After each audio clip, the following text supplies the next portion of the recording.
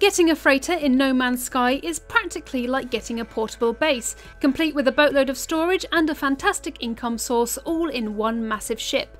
But they can be very, very expensive to acquire.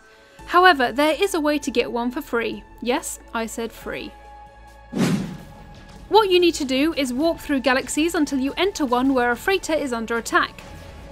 Get your space butt in there and fend off all the attackers with your ship's blasters and weapons.